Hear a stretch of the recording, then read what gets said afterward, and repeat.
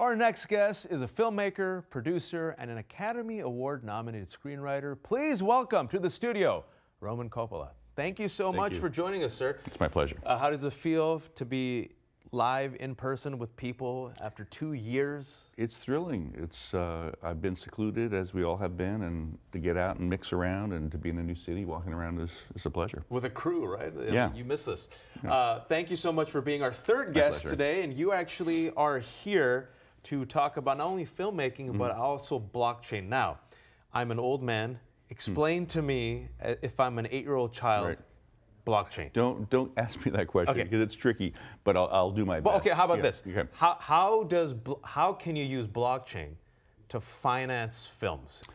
Well, that's what we're trying to do, and um, uh, you know, something that's interesting to me is that technology and filmmaking have been hand in hand Right. since the beginning of time. Uh, since the beginning of cinema. And in fact, my great grandfather built the machine that allowed for sync sound to happen on the jazz singer. So he Oh, was wow. a machinist. So anyway, throughout the years, and especially my dad, there's been a big interest in how technology can be a, in service to, to, to filmmaking, uh, to cinema. And uh, in his work, he did innovation with sound and using digital tools, editorial, all that stuff, which we're seeing here kind of as you do your work. With regards to blockchain, um, it is compl- complex, and I don't understand it in the deepest sense, but basically, we are creating a decentralized platform. That means that everyone is sharing the responsibility. It's immutable, it's transparent, there's no ability to game the system. To create a, a platform and a community that will allow works that have merit to rise up and be voted on and be uh, you know, sort of curated by the participants, the, the, the crowd. So uh, in, in the world of movies, there are a lot of barriers, agents, studio heads that basically control things, Gatekeepers, right? gatekeepers. And money.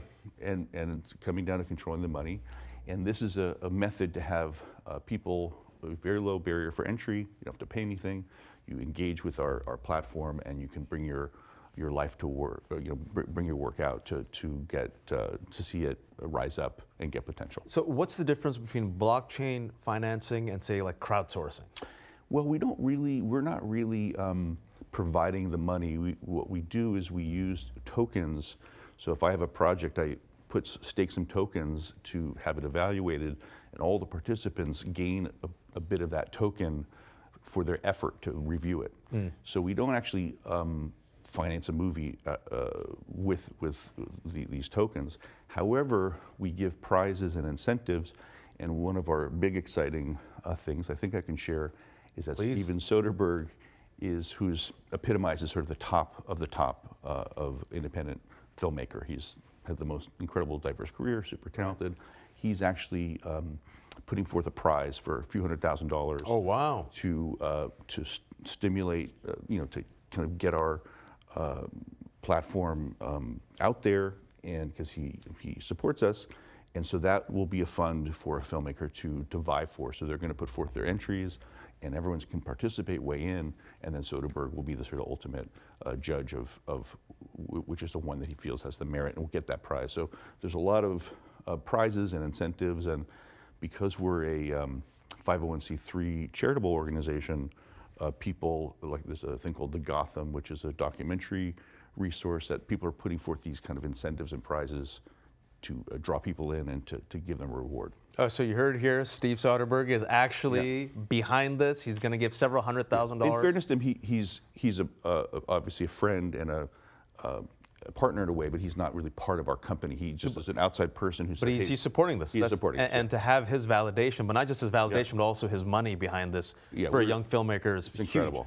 Uh, you know, you, you've touched upon this, and I want to decentralize pictures, which you have started, Mm-hmm. uh, pretty much to house this, right? And I saw this this trailer you guys made that explains Mm-hmm. Right. to a layman like me the, the, the steps. Right. Mm-hmm. So if you can, suppose there's someone watching right now, like, all right, I, I'm a filmmaker. Mm-hmm. What are the steps?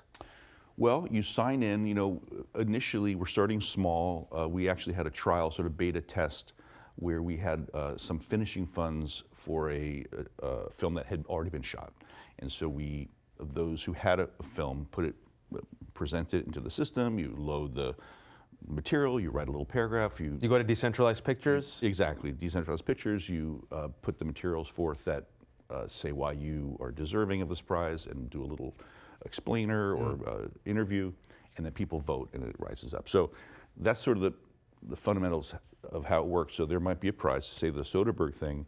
Uh, you would go, you'd log in, you make an account, and you would, um, you know, put forth your proposal, your pitch. There'll be sort of a call to action. So there may be a, a treatment that's required, but you can do an interview, you can put images.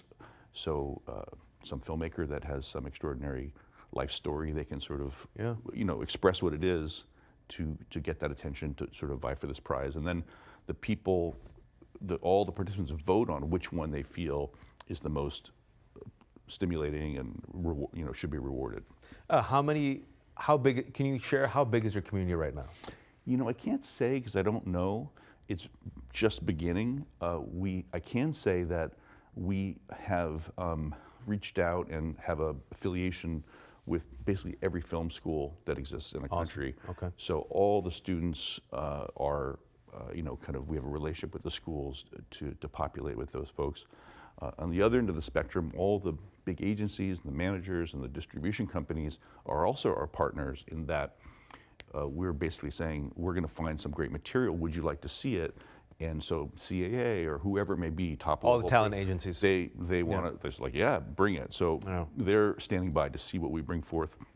But at this moment, it's just it's just beginning, and so this chat we're having is, you know, the goal is like, hey, Yeah. go check it out, sign up, sign in, and the Soderbergh pr- project will be sort of this wonderful kickoff to bring a lot of attention and participation. You have your backing. You're a big name. You've had a storied Mm-hmm. career. You got Steve Soderbergh. I'm assuming you're going to lean on family. Maybe Sofia Coppola is going to get involved.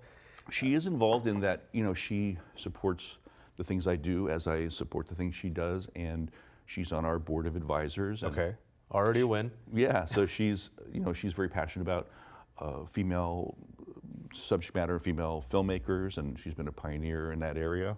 And so that's kind of one of her passions. So, uh, you know, we're talking about how she can use her uh, clout to support uh, that type of thing. Do you think? Do you think that the type of clout that you have for this, right, is is is going to give you an edge because the track record so far, right? Mm-hmm.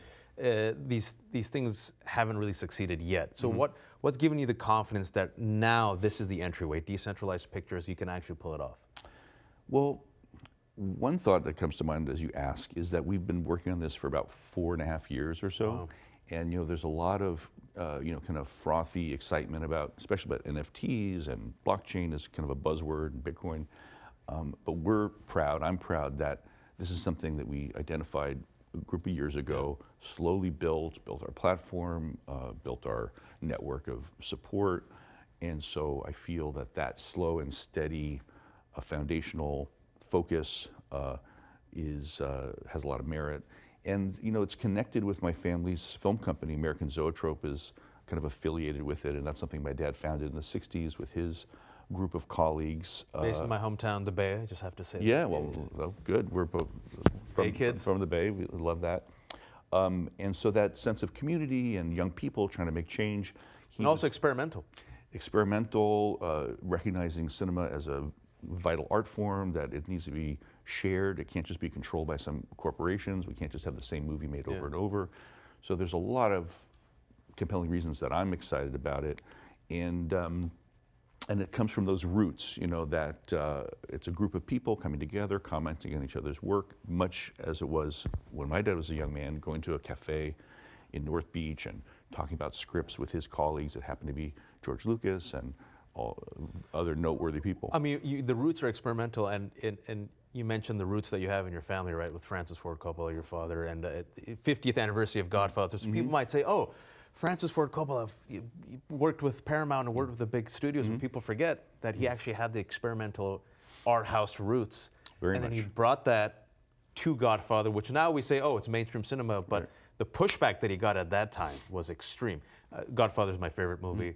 Kind of a nerd about it, so I get it. But Yeah. but it's the same roots that now- you're bringing with technology. And another buzzword that you haven't used yet is crypto. And you guys have your own cryptocurrency at Decentralized Pictures, right? Yeah, we don't really call it a currency. Uh, it's a token, so it is a, a, a, you know, it's just another word for it. But it basically sort of powers the system. It's the, the method of exchange. So if you have a project, you need to have some tokens to uh, put forth, and then so that sort of pays for other people to review it. So it kind of is the mechanics behind um, how this thing operates, but it's not really a, a currency in that. Like it's not like we're going to use that money to fund uh, movies right off the bat. Ultimately, because we're a 501c3, there'll be a pot of potential value that we could dip into to support films, and it will be never any profits that come in will go right back into it because it's locked in as a charitable organization. Yeah. So it's kind of exciting that um, as if the thing this takes off and it grows, that there'll be a fund of money that can perpetually be tapped in to support uh, new voices and uh, you know a new generation of filmmakers. The token is called Film Credits, capital F I L M, yeah.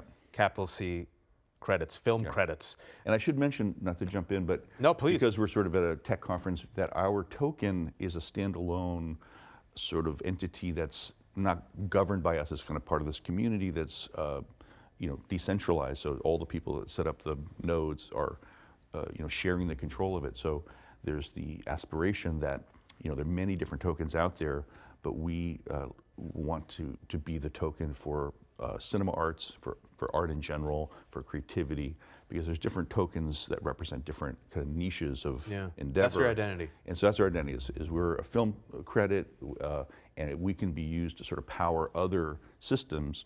And in the future, you know, whether it's casting or whether it's uh, you know, being equitable for paying crew and all these other endeavors that relate to film, this token could be a part of that uh, method, you know, sort of a currency for that. You know, in the industry, well, in any, any and every mm-hmm. industry, mm-hmm. there is uh, oftentimes lack of diversity. Oftentimes, there's the gatekeepers. Mm-hmm. There's nepotism, wealth. Uh, white men, oftentimes, mm-hmm. right, and uh, get the top plum roles, and it just gets passed down, passed down. Mm-hmm. Have you seen so far? I mean, it's still nascent. That this type of decentralization is actually helping a diversity of voices get out there in front. I want to say, I have. Um, but we just haven't really we haven't released it yet. So yeah. we're about to announce it. Um, we did um, sponsor the finishing funds for a film that was uh, only uh, we only invited uh, USC uh, alumni to participate because it was sort of a beta tester, and um, so it wasn't a huge group of people, but a, a, bunch of people put forth their work, and the film that was selected through the, the our system was made by a, a young woman Asian. Uh, it's a wonderful movie, and so I uh, can you can you name the movie right now? Uh, it's called Poachers. It's a short film. Yeah. And her name is Tiffany. I, I, I don't recall her last name. Poachers. Poachers. It's a, it's a wonderful short film. I saw. Uh, uh I haven't seen the final final finished version, but uh, it was, I was proud. Like, wow, this is a neat movie, and we can't take total credit because she had initiated on her own, and we just helped. But it, finish it got it. the funding. It got the funding, and it allowed her to, to do more. And she'll be at. She's here at South by, so oh, great. she'll be speaking about it. But um, anyway, I don't want to take too much credit, but it's just it's take a little beginning. bit of credit. Take a little, bit. bit. It's the beginning. Yeah. Uh, d- uh, for you, for your future projects, do you see yourself using this system to help finance your endeavors?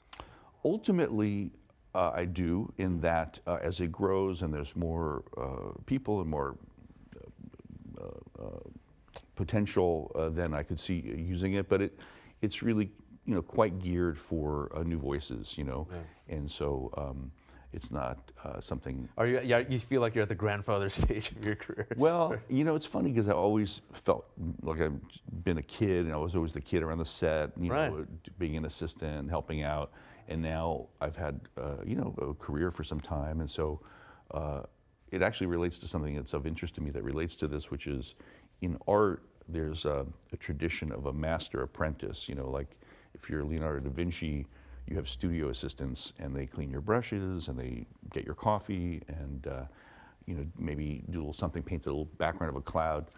And it's a, a wonderful tradition in filmmaking yeah. because that kind of uh, relationship of someone who's very experienced helping a up and comer, and the up and comer inspires the older voice like, oh wow, I didn't know about that, or tell me. So it's it's not a one way exchange. It's a relationship. It's a relationship, it, and it's pays back uh, both ways. In fact, my dad recently, he's preparing a film and he had all these young high school students come to do a rehearsal session with him and he was so stimulated like wow these young guys had all these ideas and, and then of course the kids were inspired to work with him so that exchange of you know apprentice uh, master is kind of rooted into this, and someone like Soderbergh, someone like myself, someone like my sister, that we're kind of you know supporting it and sponsoring it, and we'll sort of guide things as we can uh, in terms of you know putting prizes out there and encouraging people.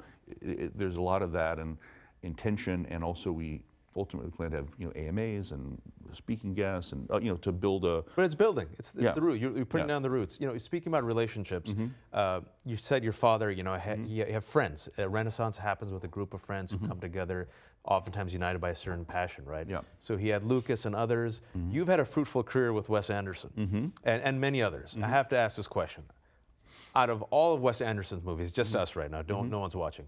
Which one's your favorite? Well, it's hard to pick a favorite. I have different favorites. You know, Moonrise Kingdom, uh, Which you co-wrote. which I co-wrote, and, And you got the Academy Award nomination. So that was Excellent movie. Thank you, and that was very personal. You know, related to things that that meant something to me. Uh, Darjeeling Limited was the film, my first kind of writing association with Wes, and that's also about three friends or three brothers on an adventure, and it's sort of a reflection of what the experience we had.